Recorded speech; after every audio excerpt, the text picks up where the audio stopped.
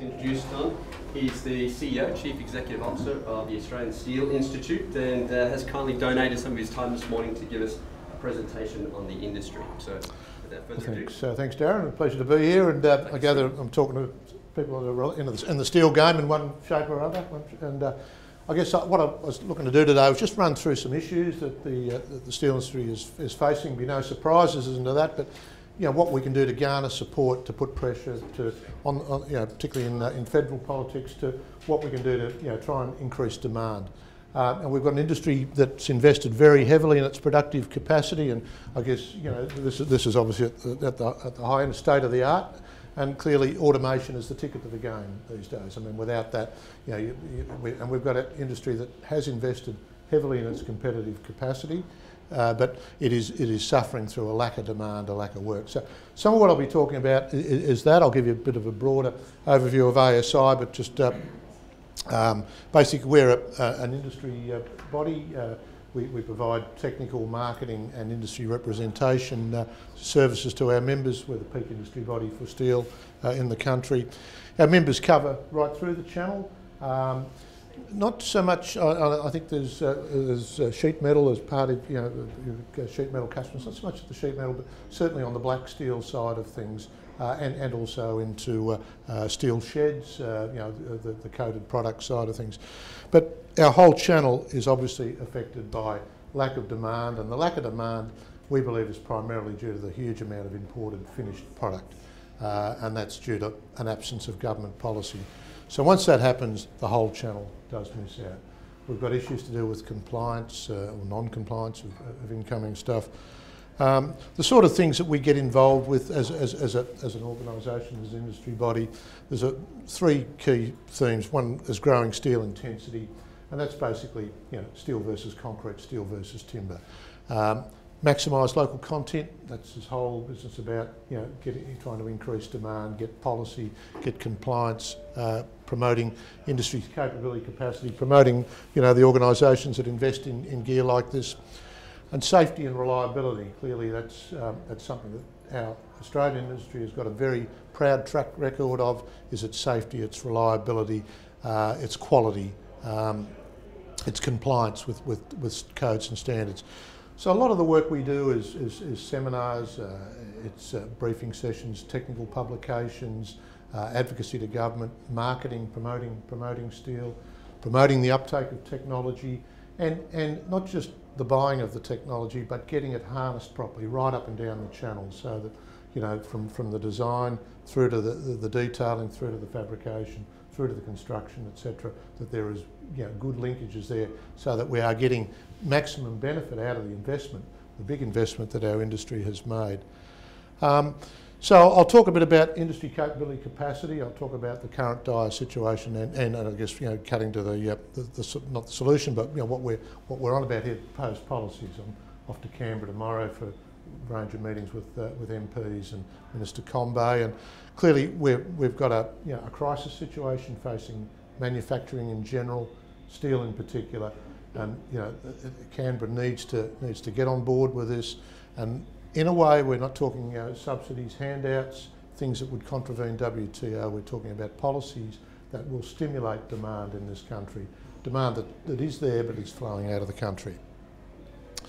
We've got, and, and, forgive me if I'm talking mostly on the, on the black steel side of things, but within that channel, we've got uh, steel fabricators that have invested some 300 million in the last three or four years, sorry, sorry 500 million in the last three or four years.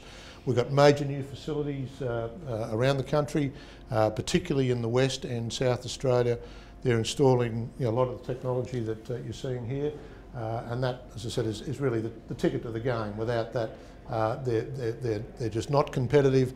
With that, we believe that you know, they've got an offer. Clearly, they've got a, they've got a, a quality, competitive offer. Um, We've got a, a, very proud track record in this country of making uh, you know, steel to support our, our mining, our oil and gas, our infrastructure and our, our building sectors.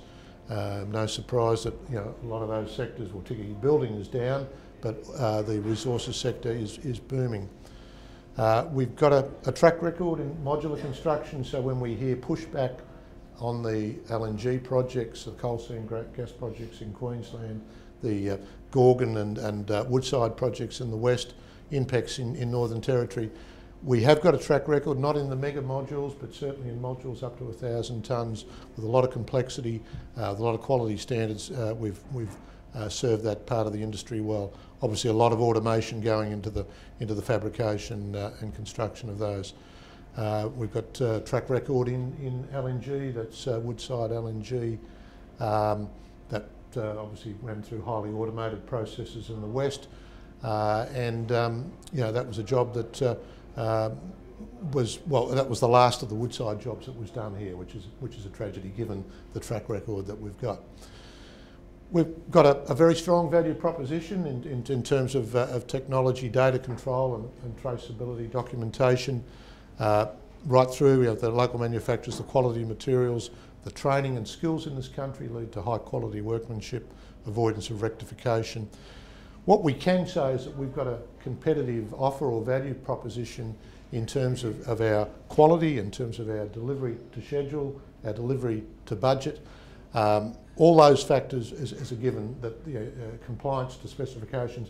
Where we do struggle is on an hour, hour for an hour comparison uh, with, uh, with Asia, uh, particularly where there's free issue steel, free issue drawings. That's how a lot of these jobs are getting carved up now, and that's where we're missing out. Number of uh, uh, large, large-ish fabricators are, are around the country, most working under 50% capacity. Uh, the three big guys in, in Perth got a, a capacity of 140,000 tonnes on their own. This figure here of 1.8 million, I guess we've got to pull all stops out to get to that. That would be with uh, you know, uh, sort of two and three shift operations seven days a week, but certainly comfortably in excess of 1.1 million tonnes lot of capacity. We're doing probably at the moment in the order of five to 600,000 tonnes. More like a third of our capacity. About a third of our capacity. Um, now that, that is, you know, that's the hub of the problem here. Now, and that's just in the black steel side of things. You amplify that around the country in sheet metal, in manufacturing in general. Uh, this is where there's need for you know, urgent government action. The main game in town, no surprise, is, is obviously the resource projects, automotive and general um, you know, general uh, building construction and, and general, uh, general manufacturing uh, is down. The, the, size of the pie is certainly increasing with the, uh, has increased with the resources boom. So our traditional markets are down, our, our commercial, industrial, residential building markets as you know, a flow-on impact of the GFC are well and truly down. Manufacturing with the high dollar is down uh, manufacturing as a, as, a, as a percentage of the Australian economy and in terms of total employment is down. All strong pointers for the need for government intervention with, with supportive policies. Imported fabricated steel, now that is a significant underestimate.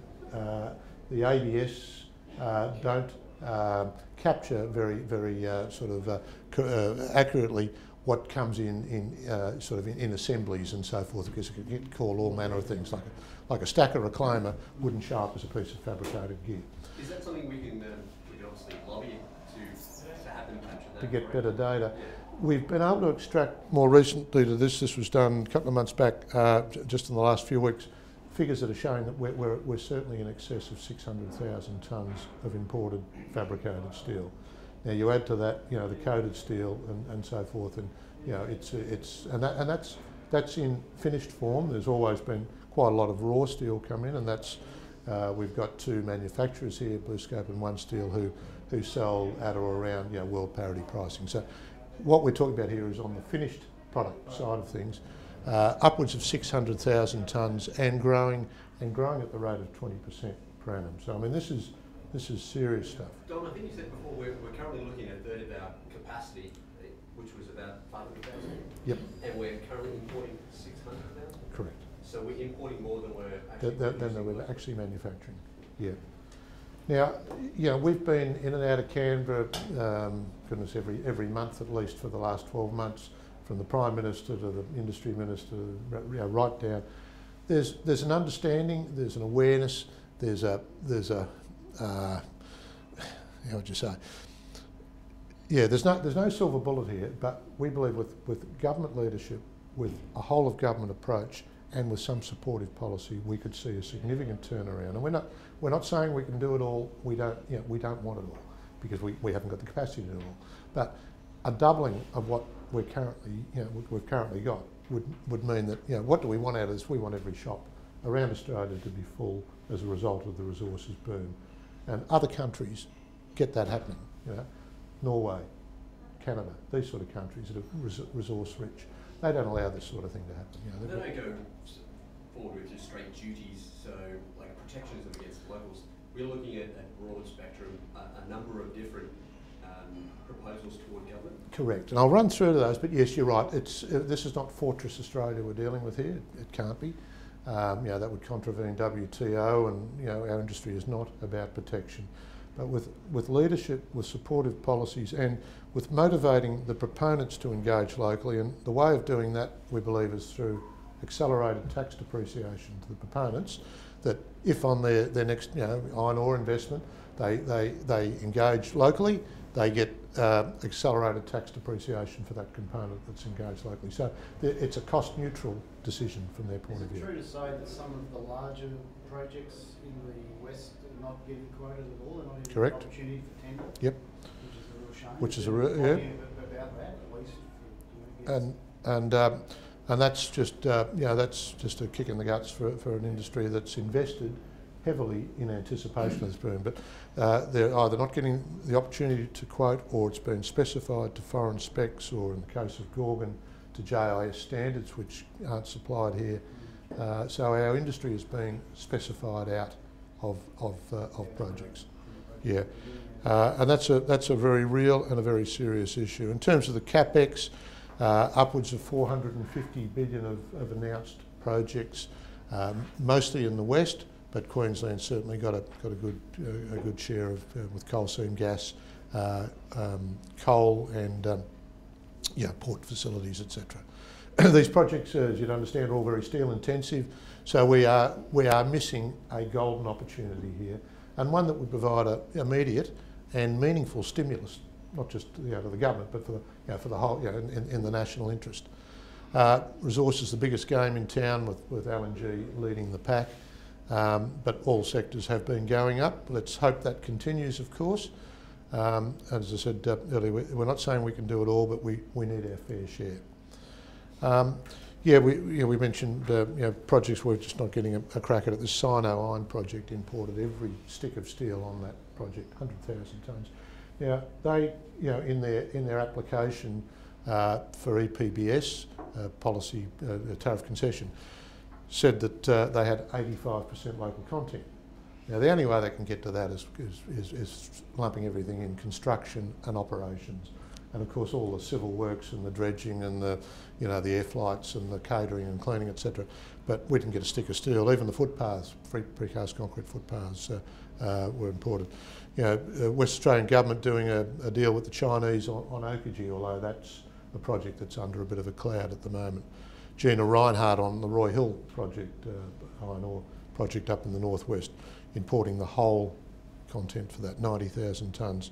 Clive Palmer, who probably saw on the telly last night, uh, and he's, he's, a character, yeah. Uh, this China First project, the, the signs are, are, are, not good on that. I mean, even the name of the project sort of uh, doesn't inspire confidence that we're going to get much of a crack at it. So it is, you know, it's, it's, a, uh, it's a dire situation. Um, you know, you all understand, you know, the, the, the uh, with BlueScope and OneSteel, they're, they're uh, well publicised losses and job cuts. Now that's obviously running right through the channel, you know, distribution, fabrication, clearly, you know, everybody that supplies goods and services into the industry. So we're, we're losing, you know, um, potential to lose many more uh, thousands of jobs and apprenticeships. So I'm, I am painting a grim picture here because it, this is serious stuff. We've got an industry here that that in you know, manufacturing in general, but steel in particular, uh, we, we, we need to get government attention here. We've got a meeting in Canberra with the steel chiefs uh, from OneSteel and BlueScope with Minister Combet on Thursday.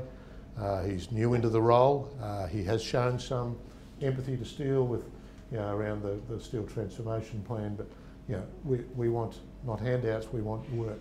And, and uh, he, he, uh, he needs to be the, the, the champion of that. Okay, so our policy prescription, we're saying to government, they've got all these in-place schemes, and you will have heard of, I think, a number of those, ICN um, and, and uh, you know, anti-dumping legislation, Australian industry participation plans. Uh, th these are, uh, well, government-funded initiatives. We're not saying that, uh, that, uh, that these things should stop, uh, but they're, they're, they're necessary conditions, but they are not sufficient on top of this, there needs to, these are mostly focused on, on the supply side of the equation, trying to improve competitiveness and, and so forth, which is, which is you know, clearly necessary. But we need policy that focuses on the demand side of the equation. Um, and that impacts on some of the things there. Foreign Investment Review Board approval. We just think it's an absolute travesty justice there, where um, investors, foreign investors can come into this country with their finance and have that finance decision linked to the investment decision, uh, sorry, to the supply decision. So basically, we're shut out of it, uh, you know, a, because you know, sometimes these are, you know, foreign-owned, uh, sorry, well, uh, government, uh, com communist government-owned enterprises buying in the country here. There's steel companies that are linked back right through from steel manufacturer through into the into the fabrication. We've, uh, uh, we're aware of w World Trade Organisation provisions. We're not looking at any form of you know, mandating or tariffs or you know, uh, things, subsidies and things that could be in contravention. But yeah, let's uh, get government to you know, push the envelope to, to, to sort of uh, map out what can be done, not come up with excuses all the time about what can't be done to support our industry here. Often we believe that World Trade Organisation and free trade is used as a smokescreen excuse, and we're the only ones playing by those rules. Um, centrepiece of what we've been pushing for, and there were some announcements in the media two weeks ago by Combet, uh, is Australian industry participation plans. We've been pushing long and hard for this. Something that's transparent, something that's got teeth to it, something that uh, has got rigour. So you break down this thing like Sino Iron saying they've got 85% local content, and you break down into the contestable items you know, the stuff that can be made here or overseas and report against the percentages uh, occurring there. Um, these, these Australian industry participation plans, they need to have penalties attached to them, they need to have uh, uh, rigour, needs to be audited by a, an expert uh, independent board. Um, so that very much is the corner piece of what we're about. We believe they should be compulsory for all projects in Australia greater than $100 million. Um, now, for that to occur, it'll need uh, COAG, uh, you know, the, it'll need the states uh, on board with the feds. Um, at the moment, the feds have only got the interest in uh, industry participation plans where it's tied to this uh, enhanced project bylaw scheme, which is in, in effect a, a, tariff, tariff concession. Uh, we're saying that all projects that, that submit an environmental impact statement must have a must have an Australian industry participation plan. Proponents are happy, they'll play by the rules, you know, whatever the rules are. Uh, if there's environmental approvals, uh, clearly they've, they've, got to comply with that. Indigenous, uh, similarly, they'll, you know, they'll, they'll comply with that. We're saying that up there on the same platform as that, Australian industry participation needs, needs to have the same level of importance and, and, and, uh, and rigour. Uh, and, and that's, that's a, a sort of a government-led uh, um, sort of, uh, well, government leadership uh, strategy. Um, in terms of our prescription, you know, we it, you know, obviously would come under Minister for Industry Combet, through, running through COAG. Um, we've got uh, uh, hanging off the Australian Industry Participation Plan to give it to incentivise the proponents because I mean they're not going to. They could still say in the plan, "Oh, what, it's cheaper overseas. That's what we're going to do," but through um, conditions put under Foreign Investment Review Board approval, whereby they come cap in hand to government wanting to invest in Australia's non-renewable resources, government should say, "Well, you know, where's your plan? What what's the industry development? What are the jobs? What are the you know, what's the benefit? What's the, the broader benefit for the country besides the bit of royalty that gets paid? Similarly with skills development, you know, clearly if we have a disconnect with apprentices not being taken on, then we're not going to be in a position to be, to be able to produce uh, down the track. Tax incentives, uh, most important, uh, basically this is the carrot. This is something that uh, would be cost neutral to the proponent. He would get a tax incentive in the form of accelerated tax depreciation or a discounted royalty.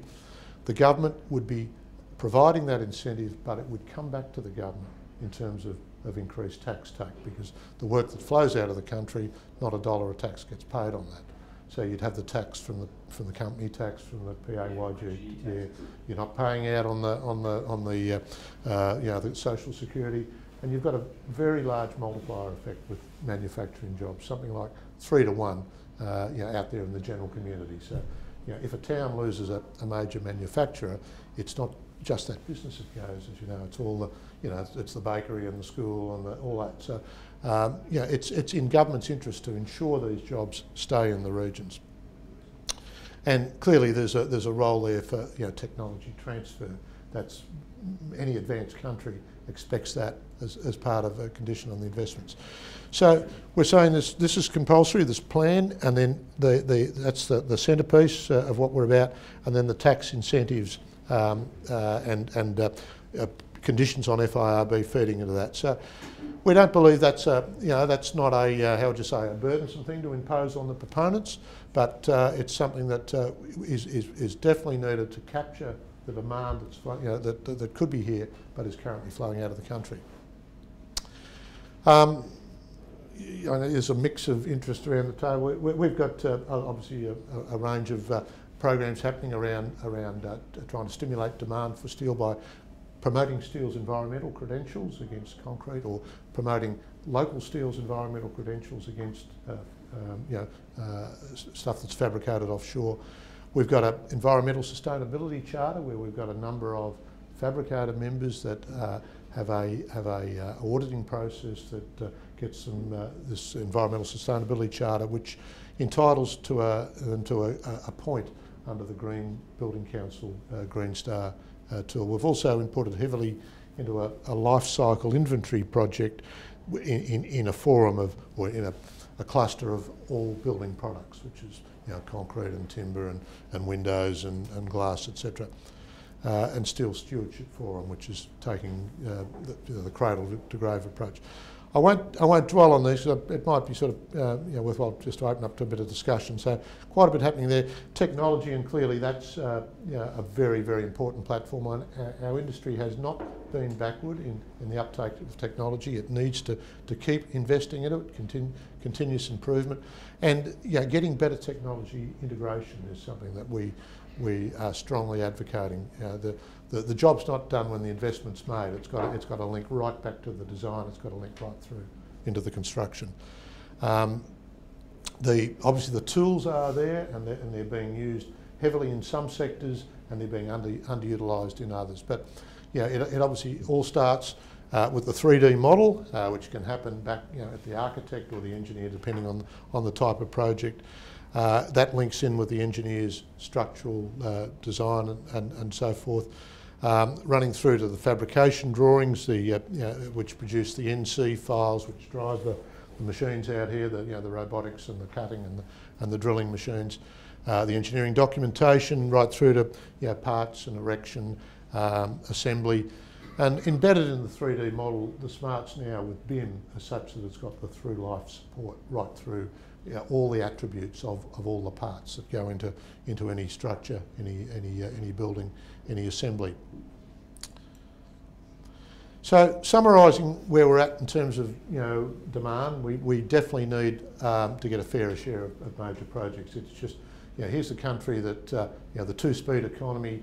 You know we've got uh, uh, probably uh, I think the quote the other day in the paper probably 95% of the country is, is is growing at less than the than the three or 3.2% uh, GDP growth.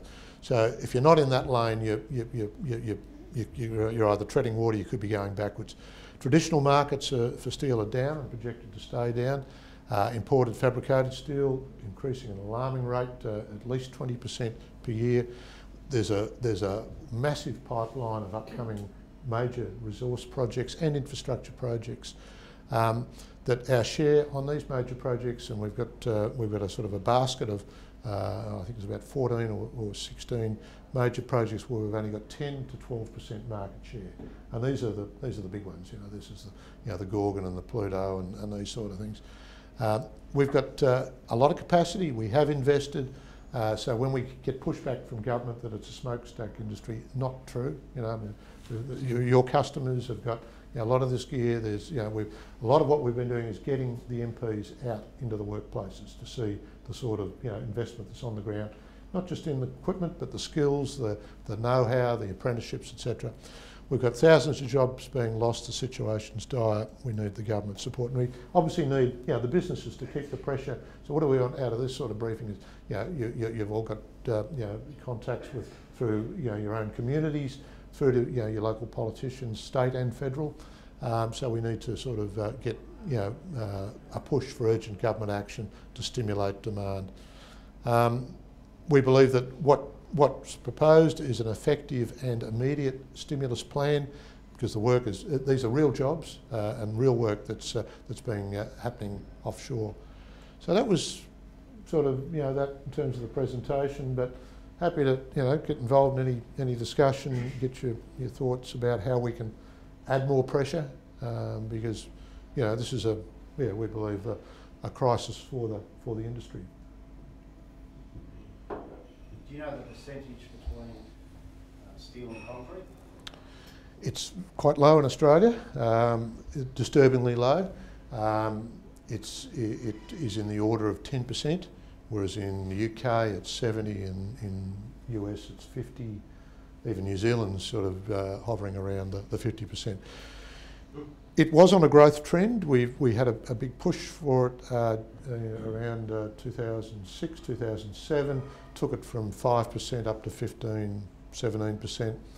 Uh, then there was the rampant steel price increases, you know, with the, um, the, the shortages and so forth of steel and, you know, world steel prices increasing.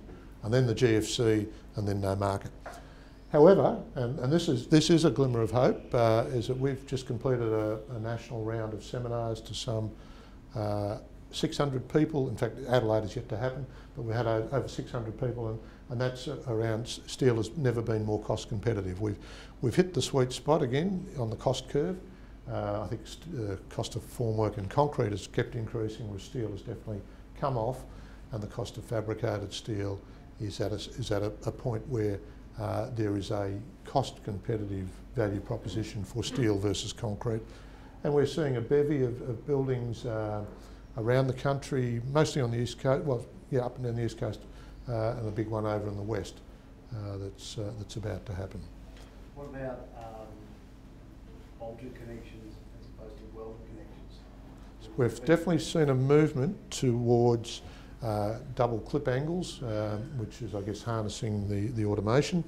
So um, we are, uh, through that seminar series I just mentioned, um, we've got fabricators that are, that are promoting that because that is, is definitely, um, that's a way of harnessing automation to, The designer that seems to come through from the engineers who design 3D, they say, well, well, well. Yeah. Actually, we need to push towards a connection, where it can work out cheaper. Definitely a lot of our reach uh, and a lot of our membership, we've got about 1,700 members and more than half those are, are in the engineering space. Um, and, and you know, so we sort of promote you know, efficient use of, of, of steel and try and, you know, ease of design and so forth. And certainly that is a, a key message that we're pushing out there is, is consider, in fact, go for uh, double clip angles because that uh, is, a, is a more cost competitive solution than the, uh, the welded web side plate. And uh, oh, obviously a lot of education around, you know, don't over specify your welds. You know, it's, a la- it's a lazy cop out for engineers to specify full, full penetration butt weld. Probably, probably good for the, the welding consumable side of the thing, but uh, it's a, uh, you know, clearly it, it, those things, if it makes steel less competitive, then we're going to see less steel structures. So we need, obviously to have the competitive offer, we need the most efficient steel design that, that we can achieve. Any other questions? Yeah, yeah. In, in steel fabrication, uh, the import is growing at twenty percent per year. Correct. That's completed sub-assembly And, and often it's more than that. Uh, and in fact, one of the reasons we are missing out with the, you know, the trends that have, have, have adversely affect our industry are pretty well understood. Obviously, the, the high dollar, globalisation, modularisation, um, you know, the, the, the, the, global supply chains moving into low cost, uh, large capacity Asian yards. Now, what that's led to is modularisation, which these modules are not just, it's not just the steel, it's the piping, the electrics, the instrumentation, you know, the, the, the, the, uh, the, the, the fire protection, all the commissioning and all of that. So that we are amortised over that, you, you, you, you, your labour, your low labour cost makes it a, a, a you know, sort of a, a, very attractive proposition for the proponents to offshore. It's, it's a very effective offshoring strategy. So we've been working with Peter Beattie chairs a group. Uh, uh, it's uh, called Buy Australia at Home and Abroad. This is the resource, that's a government initiative, resource supply uh, envoy. Uh, and we're looking at ways of, if, all right, if we can't uh, retain the mega modules in this country because of, you know, there, there is an argument that Australia should be supplying fabricated sticks of steelwork into module yards.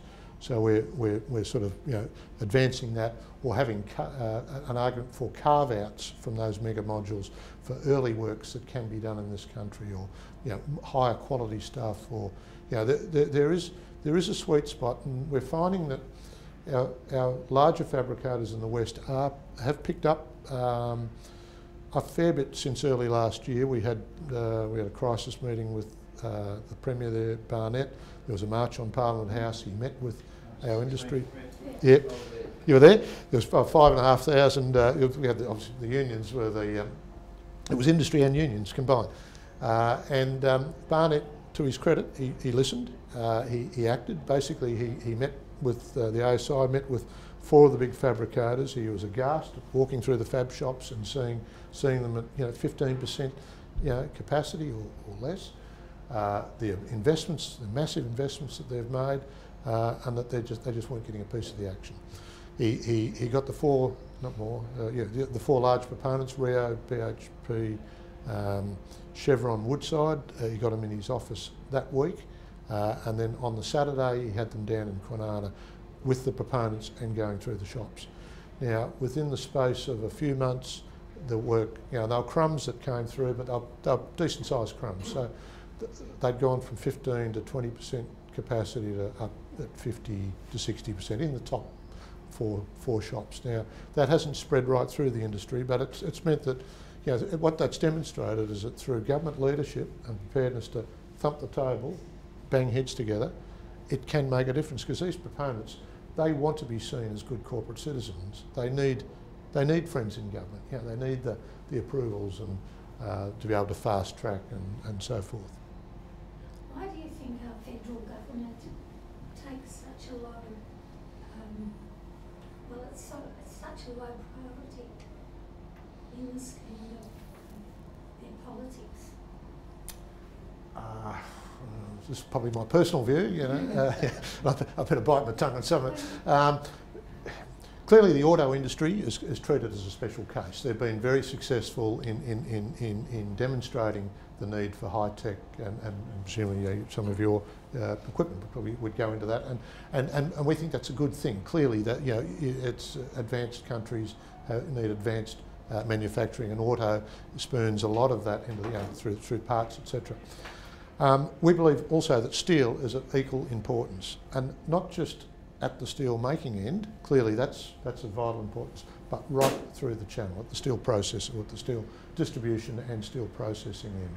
Because the channel is, you know, it, there are so many inter, interdependencies. You know, we we've got a, a, a, a, a long chain on our, on, our, on our steel supply channel. And they're all linked, they're all important, and if one's broken, then we've got a problem.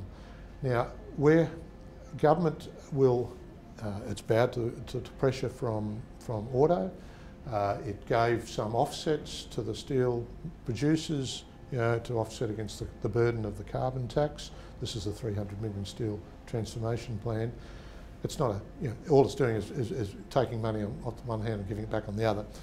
It's not, it's not having a net benefit of improving the demand position for steel, and we believe that's fair and square on the government. Now, we had Gillard, uh, the Prime Minister, at our uh, convention last year.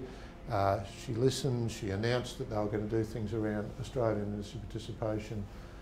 Uh, there was a, a, committee, they, they came back with recommendations, the recommendations were adopted, but we, we believe that that was watered down and, and, and sanitised, and what was served up was a long way short of what's needed. I mean, this is a crisis.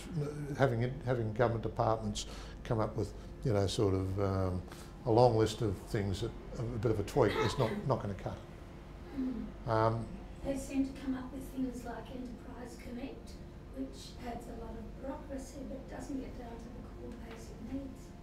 Look, Enterprise Connect is something that we've been um, pretty uh, uh, supportive of, and indeed they've been supportive of the steel industry. Uh, I guess the, what I can, sort I can uh, positive statements I'm happy to make in terms of Enterprise Connect is that they do have programs aimed at getting at grassroots at, you know, at SME level.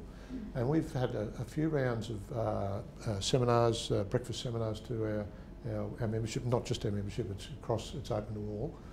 Uh, and, and, and that's around, uh, you know, well, the last round was on pre-qualification and how to pre-qualify for, for tenders, uh, you know, what, what the clients are looking for. we had technology uptake um, earlier last year.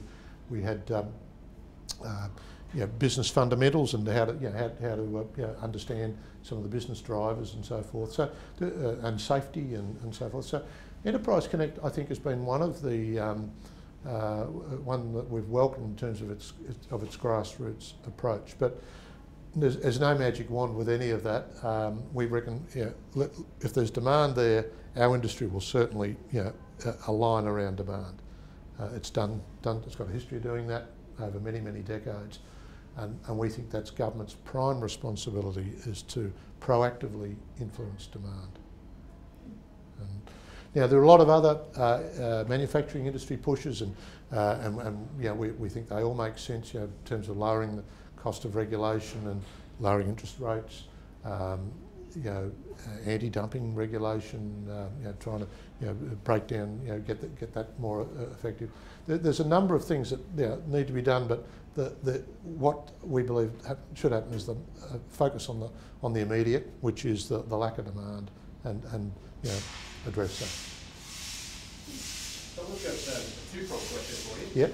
What can I do as a local manufacturer to, to benefit myself and the industry? What, what's the, the ground roots and grassroots action that I need to take?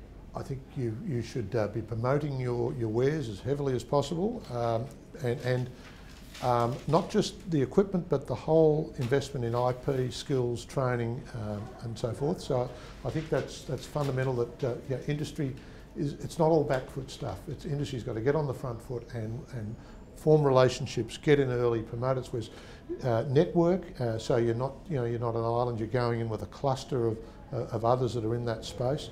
So there's a lot of self-help that industry needs to do. Obviously, they need to keep investing. Now, it's easy to say that and difficult to do it, and, you know, but uh, uh, that's that's just the, that's the ticket to the game. But you know, investments there, and I think get uh, an understanding uh, amongst your workforce that hey, we're playing for keeps here. That uh, you know, get uh, your, your, your, local politicians through the place, get them seeing the, the, the sort of skills, the, the investment, the equipment, and, and getting them angry about it because you know at the end of the day, the, you know their jobs that are in the industry and and, and uh, they they they need government leadership to be maintained. And uh, as far as the ASI is concerned, where does the ASI get their funding from? This obviously costs a lot of money to lobby government. Sure. Uh, we're a member-funded organisation. We've got sustaining uh, funding coming out of the manufacturing, uh, the three, uh, well, the BlueScope OneSteel and Fletcher building, Fletcher Steel. Uh, and then we've got you know, distributors, fabricators, uh, running right down, roll formers, suppliers of, of, consumables, suppliers of goods and services. Um, it's it's always a struggle, you know, and, and we're always looking out for new members, uh, and and we're always you know, trying to you know, engage with our existing members, um, and clearly we're we're a reflection of of their situation. Yeah. I also uh, deal across the ditch in New Zealand. I found yep. that um, the ASA equivalent over there is a very strong body with uh, a lot of uh, participation, a lot of funding, a lot of backing from every tier, as you've just mentioned. So that's HERA or SCNZ or, or both? HERA, HERA, mainly. yeah, yeah. So I can see that, and they tend to get a lot more friction over there. Obviously, it's a smaller country, so a small voice gets Mm. heard a little bit easier. Would you suggest the same here? I find a lot of also networking between fabricators to try and um, group together on larger projects. It's not so much of I just worry about myself rather than everybody else. Darren, I- think they do a lot of things right there, and, and we've got very close uh, ties with them. In fact, we've got a, uh, the technical uh, director over here at the moment. He's giving seminars, uh, giving one in Brisbane today on on uh, on um, design in, of buildings. Uh, we've got the the HERA guy, sorry, the SNZ guy coming over next uh, Wednesday, uh, next Monday. Uh, that's about a joint thing uh, promoting um, uh, architectural steelwork later in the year. So a joint series we're we're running. Um, their funding model, their business model is, uh, uh, and full credit to them, it, it's done on a levy situation, uh, so that they are able, it, and it's, go, it's government uh, uh, legislated, so that their funding is generally more secure. Uh, however, when the market is down, that, that obviously does fluctuate with the market. Um, they're a broader, they're a research organisation, research and development. We're, we're a technical marketing and industry development body. Um, and yeah, we've got very close ties and a lot of uh, a lot of respect for them. Uh, and yeah, we and we obviously don't try and reinvent the wheel. We share our work programs on a regular basis. Yeah. Great. Anybody else have any quick The questions? effect of the carbon tax comes in July, how's that going to? Uh, adversely, yeah, it's uh, it's all going the wrong way because it's uh, it's it's yet another burden on on local and, and a, free, a free kick to uh, to import it because they, they're not going to get hit with the carbon tax. So their, their power prices are not going to go up as a result of it and all the rest of it. Yeah. So the need to invest in technology seems to be paramount. Oh yeah, and particularly I know some of your, laser is uh, so your gear is, is, is power saving gear, and uh, that that is has got to be. I mean, it just makes the- a compelling business argument. You know, with high cost you know of energy, that you've got to you know do whatever you can to have the most energy efficient gear, and you know that obviously applies to processing gear, galvanising gear, welding gear, etc.